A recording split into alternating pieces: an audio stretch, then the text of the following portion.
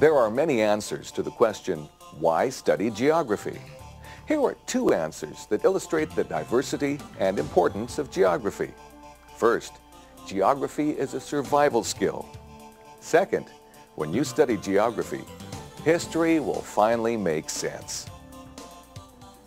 Geography answers basic questions about our life on the surface of the earth. It lets us know where we are, where we come from, where we are going next.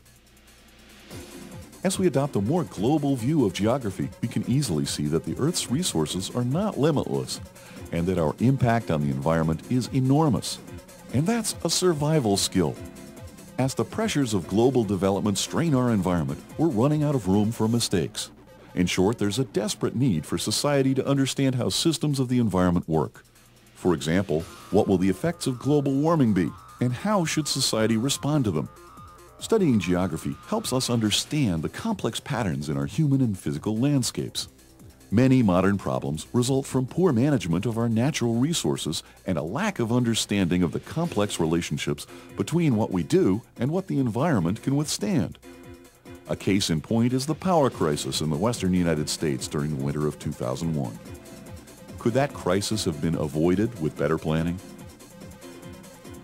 Sometimes geography even tells us where there's danger and where we will be safe. By analyzing geographic information, we can better locate waste disposal sites, locate commercial developments, and safely place industrial plants.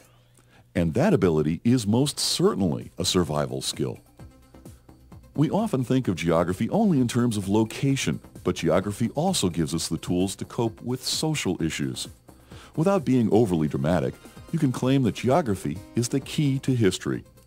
For example, why did people want to build the Panama and Suez canals? The canals can seem like very expensive curiosities, but history makes sense when you learn about the geography of trade routes of the times and understand the patterns of Far Eastern trade. Understanding history is important. There's a famous saying from George Santayana, those who cannot remember the past are condemned to repeat it. In the case of our past world wars, famines in Africa, and man-made disasters like the Dust Bowl, there's an obvious reason not to repeat past mistakes. Besides understanding the past, geography can look to the future.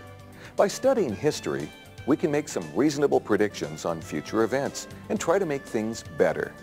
And that is very definitely a good reason to study geography. Ultimately, studying culture and the human side of geography holds us up a mirror we can learn important lessons from, and that's a tremendously powerful tool.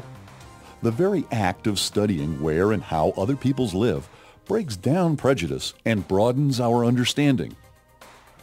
On more practical terms, an understanding of geography can help with many of our most pressing social issues. For instance, let's imagine you're on a city council and you're faced with the choice between spending limited tax dollars on a sewage treatment plant or on housing for senior citizens. What types of information do you want to make your choice?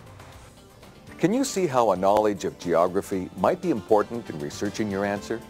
The issues here are very common. As community members and voting citizens, you'll be asked to participate in the decision-making process involved in solving these issues. We've seen how geography is a survival skill, and we've seen how it lets us understand history,